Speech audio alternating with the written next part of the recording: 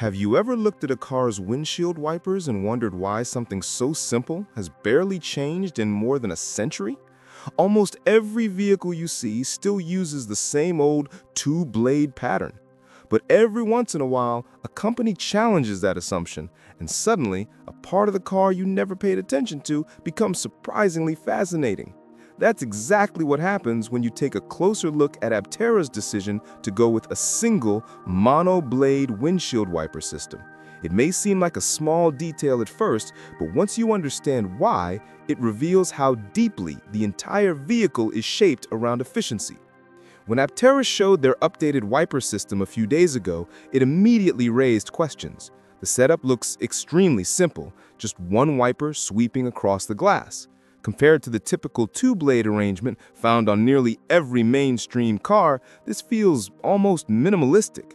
But simplicity in Aptera's world is rarely an accident. Their design philosophy revolves around reducing weight, reducing aerodynamic drag, and eliminating unnecessary mechanisms.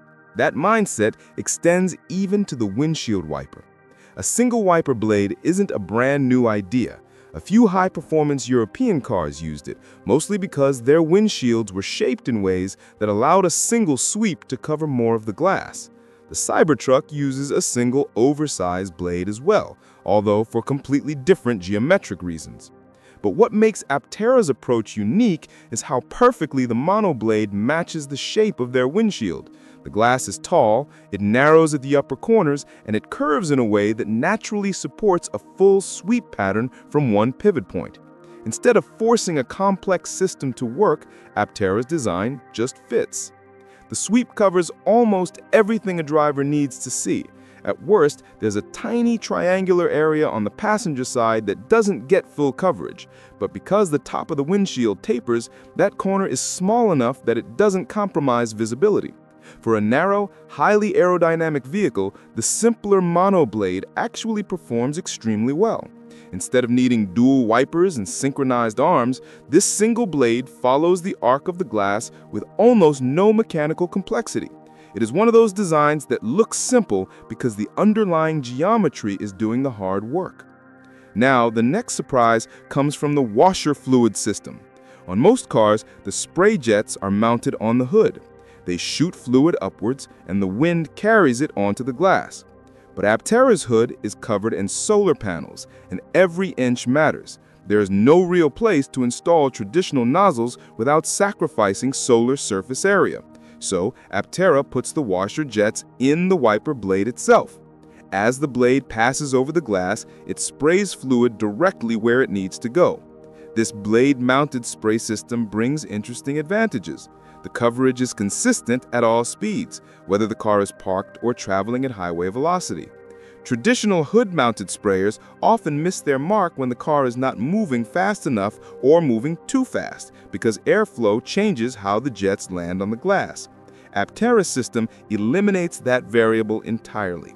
However, this design also creates a few quirks. During testing, you can see noticeable overspray, a fine mist shooting onto the roof or drifting slightly off to the sides before the blade catches up.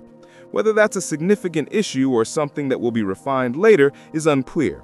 Washer fluid is cheap, and a bit of overspray may never matter, but it's still an area where adjustments could improve efficiency. But when you step back and look at the bigger picture, the logic remains solid. The car's shape, its solar surfaces, and its aerodynamic priorities all point to the same conclusion. The best place for the washer jets is the blade itself. It's another example of Aptera's philosophy of designing for efficiency first and adapting every component around that goal. A single blade wiper system comes with several meaningful benefits. There's less aerodynamic drag because only one arm is cutting through the air instead of two. There are fewer moving parts, which means less weight, fewer failure points, and lower manufacturing costs. Mechanically, it's simpler easier to maintain, and cheaper to replace. And for a vehicle designed to maximize every watt of energy, these small savings add up. In heavy storms, a dual-blade system might still have a slight advantage in sheer clearing speed, especially on wider windshields.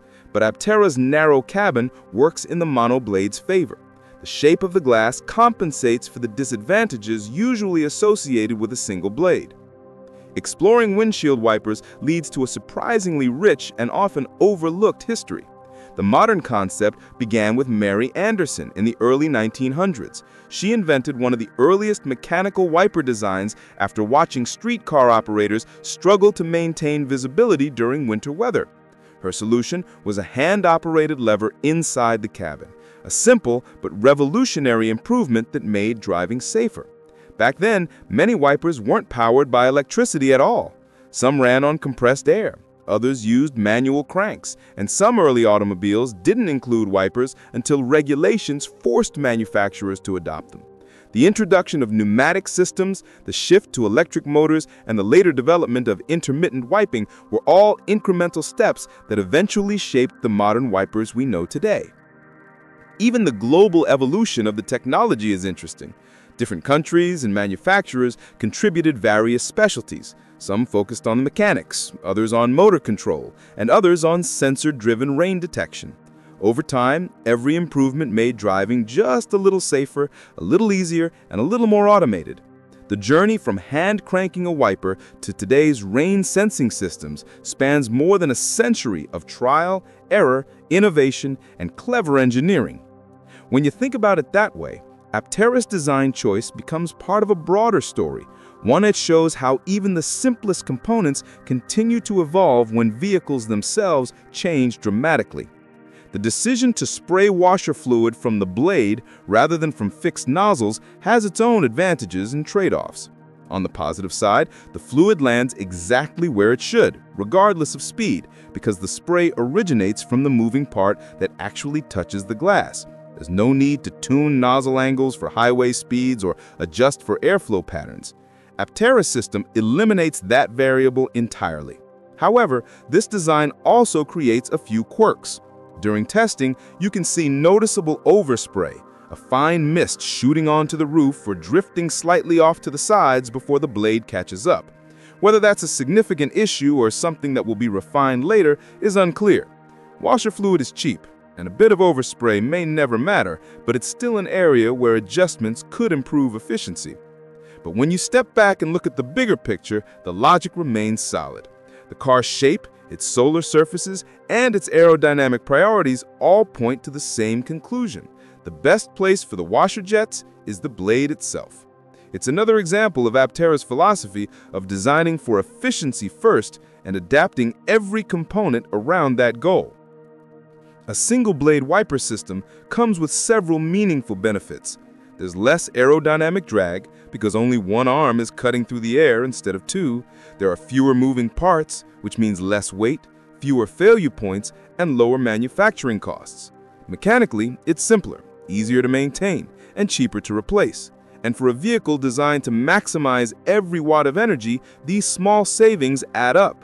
In heavy storms, a dual-blade system might still have a slight advantage in sheer clearing speed, especially on wider windshields.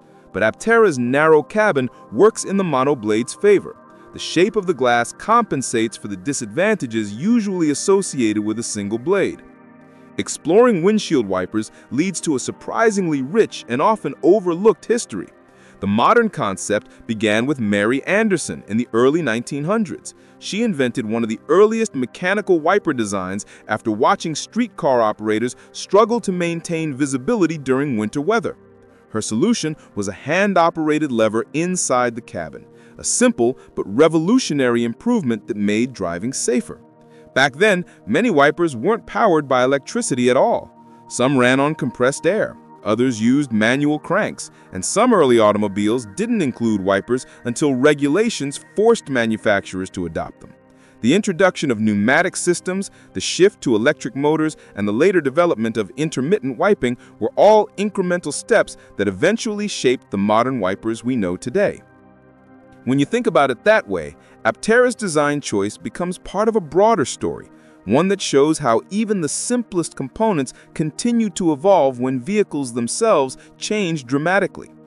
The decision to spray washer fluid from the blade rather than from fixed nozzles has its own advantages and trade-offs.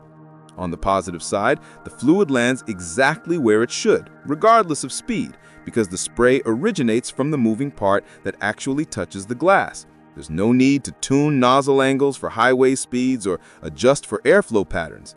Aptera's system eliminates that variable entirely. However, this design also creates a few quirks.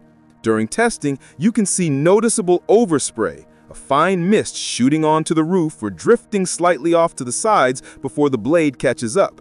Whether that's a significant issue or something that will be refined later is unclear. Washer fluid is cheap, and a bit of overspray may never matter, but it's still an area where adjustments could improve efficiency. But when you step back and look at the bigger picture, the logic remains solid. The car's shape, its solar surfaces, and its aerodynamic priorities all point to the same conclusion. The best place for the washer jets is the blade itself. It's another example of Aptera's philosophy of designing for efficiency first and adapting every component around that goal.